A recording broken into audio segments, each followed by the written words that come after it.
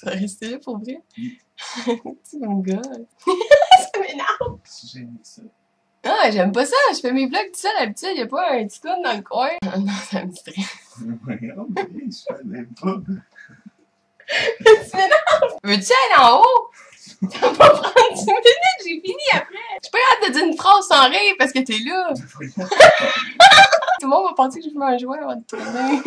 Non, le vrai. Ça va prendre 10 minutes. Ouais, Mélane, esti, continue comme ça. Ah ouais, Mélane, esti, continue comme ça. Ah! Il pioche pis tout. Il est pas content. J'ai remarqué qu'au Québec, l'humour est après disparaître puis que le trois quarts des gens sont rendus susceptibles à ce fuck. Alors cette semaine, on détruit la susceptibilité puis on redonne place à l'humour dans nos vies.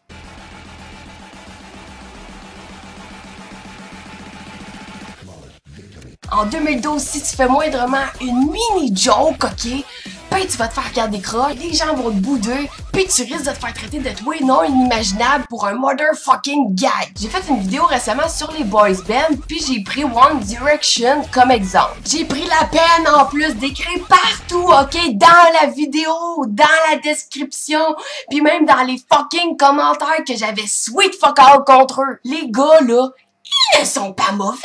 C'était de l'humour! J'ai reçu des commentaires de merde, ok, de petites filles enragées, juste parce que j'ai dit que ces gars-là, euh, leur coupe de cheveux, ben ça leur donnait des airs de chien. Ça, c'est comme un statut que j'ai fait récemment sur Facebook qui voulait dire que les SPM, c'est de la bullshit, ok, qu'en gros, que le trois quarts des filles utilisaient cette raison-là pour avoir le droit d'être en tabarnak pis pour chialer pour rien. Je sais que certaines demoiselles ont réellement un problème avec ça, que ça peut vraiment créer un débalancement hormonal. Criche pas épaisse non plus, là. Mais là, présentement, il y a une centaine de filles menstruées en avant de chez nous qui sont en tabarnak ben raide contre moi, qui attendent juste que je sorte pour me fucking lapider. Le pire, là, c'est que vous allez croire ce que je viens de dire, là. J'ai peur, j'ai peur de sortir de chez nous, moi, là, pis de me faire sniper. Oui, parce qu'en échange de jokes qui, à la base, est supposé faire rire les autres, ben, tu reçois des menaces de mort à cette heure.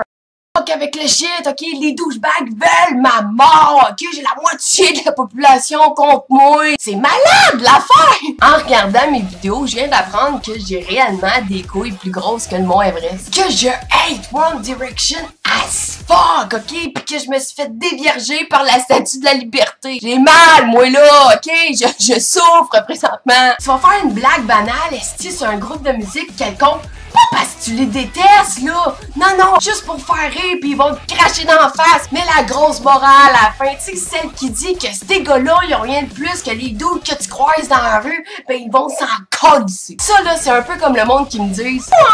Spawn le fait de donner du love au hater, mais toi tu hate One Direction. Puis en plus, tes premières vidéos t'insultais tellement tout le monde, là. C'était de l'humour. Je n'étais pas nécessairement d'accord avec mes propos, ok? C'est euh, du vlogging un fucking personnage.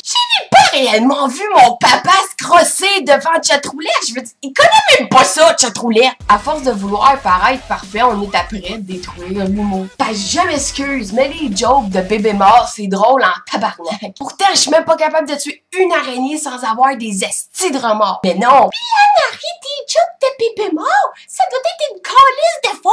Denise pas un bébé, elle va le tuer. On prend tout au pied de la lettre, ok? Au premier degré. Tu ne peux plus faire un fucking gag sans recevoir une box de merde dans ton Facebook. À force de prendre tout au sérieux, vous êtes après viré de Québec en une grosse joke qui aboutit pas, qui s'éternise, puis qu'à la fin, ben, il y aura même pas de punch ni de rire. Il va juste rester des sourires à l'envers de gens susceptibles, puis des larmes de regret. Sur ce, vous êtes actuellement 53 000 sur ma fanpage Facebook, puis ça, ben c'est crissement pas une joke.